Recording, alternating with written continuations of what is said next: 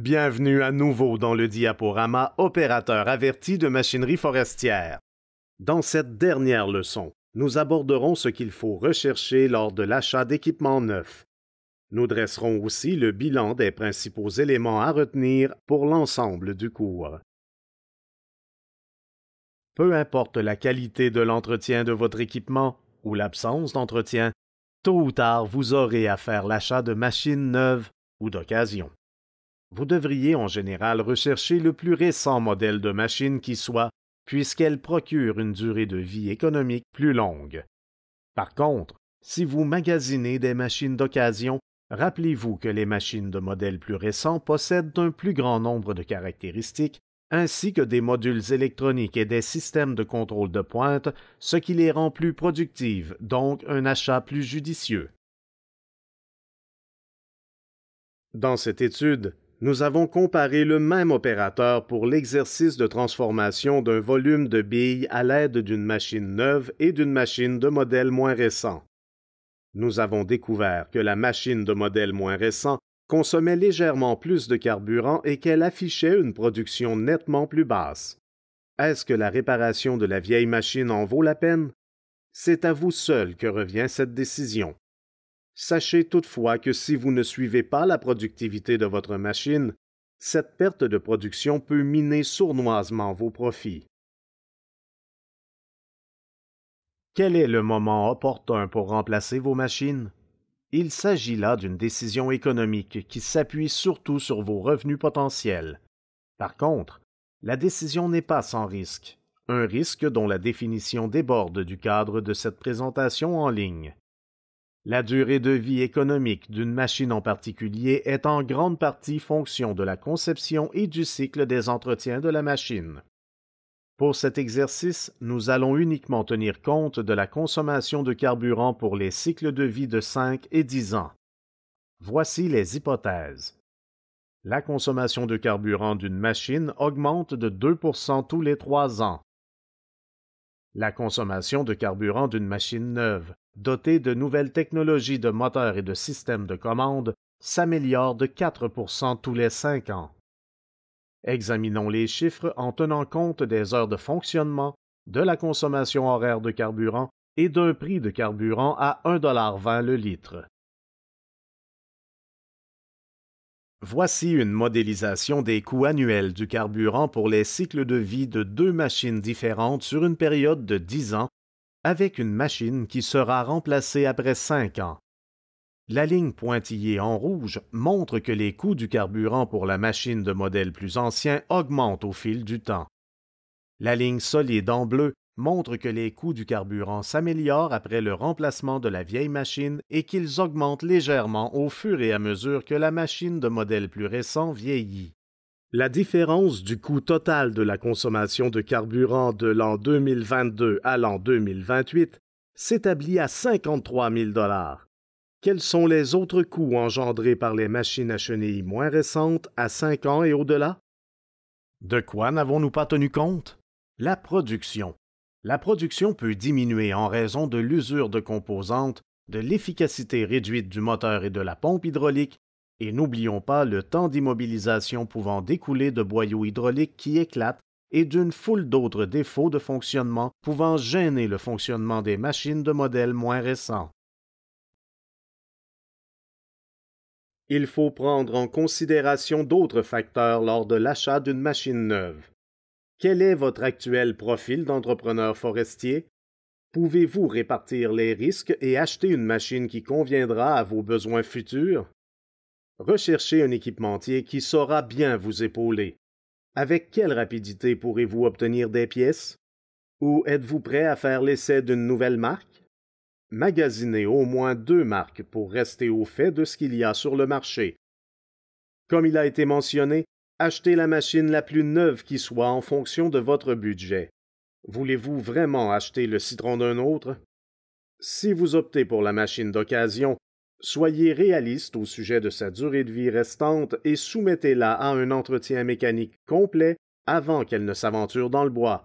Les réparations peuvent être effectuées plus facilement en atelier. Faites vos devoirs. Bien qu'une machine de plus grande dimension puisse être agréable, quelle tâche effectuera-t-elle le plus souvent? Les machines neuves sont dotées de systèmes hydrauliques plus efficaces et elles sont normalement plus silencieuses et dotées de systèmes de ventilation plus sophistiqués qui sont commandés par ordinateur et qui peuvent inverser le débit d'air pour évacuer les débris des radiateurs. Finalement, examinez avec scepticisme les données de consommation de carburant fournies par les fabricants. Renseignez-vous auprès d'autres entrepreneurs forestiers dans votre région et demandez-leur leurs opinions.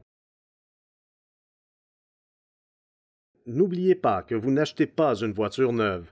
Ne vous laissez pas berner par un vendeur qui ne cherche qu'à vous vendre sa salade. La quantité totale de bois produit et de carburant consommé, voire même les coûts d'entretien, pendant toute la durée de vie de la machine dépasseront de loin le prix d'achat initial l'achat du mauvais outil peut s'avérer assez coûteux. Est-ce que vous avez déjà fait l'achat d'une machine qui s'est avérée un échec? Demandez-vous où vous avez fait fausse route, si cela n'est pas trop pénible. Lorsque vous envisagez l'achat d'équipements livrés en option, regardez ce que vous obtiendrez pour votre argent. Pour ce qui est des équipements qui offrent confort et commodité, tels qu'une radio satellite, ils améliorent les conditions de travail et le moral de l'opérateur. S'il en va de même pour les appareils favorisant une économie de carburant, telle qu'une chaufferette de cabine, il faut aussi évaluer une autre possibilité de rentabiliser davantage votre capital investi. Les opérateurs font souvent marcher au ralenti les chargeuses forestières en attendant les camions. Le fait d'arrêter le moteur et d'utiliser une chaufferette de cabine peut vous faire économiser du carburant. Si on examine les chiffres, on voit que la machine consomme 3 litres et demi de carburant à l'heure et que la chaufferette de cabine en consomme un demi-litre à l'heure, d'où des économies potentielles de 3 litres. Si votre objectif est de réduire le temps de marche au ralenti d'une heure et demie par jour, vous pourrez économiser plus de 1100 dollars sur une année. Une chaufferette de cabine coûte environ 1400 dollars. Si vous divisez le coût par les économies, vous constaterez que vous récupérerez votre argent en l'espace de 15 mois. Si les équipements livrés en option vous permettront de réaliser de telles économies, vous devrez en tenir compte dans vos critères d'achat. Dans cette leçon, nous avons appris que le rendement des machines diminue au fil du temps, ce qui fait croître la consommation de carburant et réduit la productivité que la fréquence optimale de remplacement varie selon le type de machine et les tâches qu'elle effectue, qu'il faut acheter une machine en fonction de vos besoins futurs, qu'il faut rechercher de nouvelles technologies des machines qui devraient conduire à une efficacité accrue, qu'il faut se renseigner auprès d'autres entrepreneurs forestiers qui utilisent la machine que vous désirez acheter qu'il ne faut pas seulement regarder le prix d'achat, tenez compte du coût total de possession pour avoir une vue d'ensemble.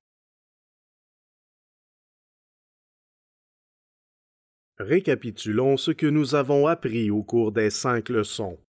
Comme plusieurs facteurs accroissent l'intensité énergétique, assurez-vous d'en tenir compte dans vos modèles de coûts.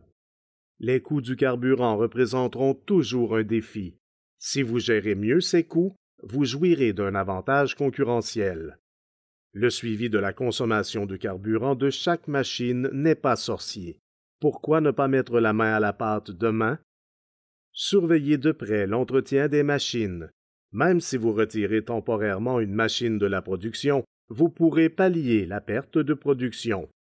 Avant de procéder au démarrage d'une abatteuse façonneuse neuve, réunissez l'équipe et discuter de la meilleure façon de déployer les machines afin d'optimiser leurs fonctions uniques ou les compétences de vos opérateurs.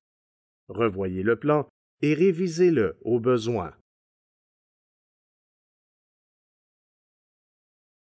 Dans la première leçon, nous vous avons demandé de dresser la liste des choses que vous pourriez améliorer pour hausser la productivité et diminuer l'intensité énergétique de vos opérations.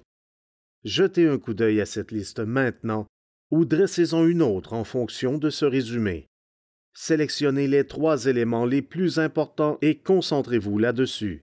N'oubliez pas qu'il est important de miser sur la simplicité.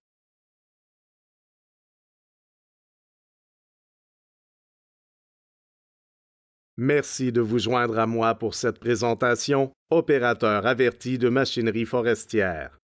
N'hésitez pas à communiquer avec FP Innovation, nous apprécierions recevoir vos commentaires.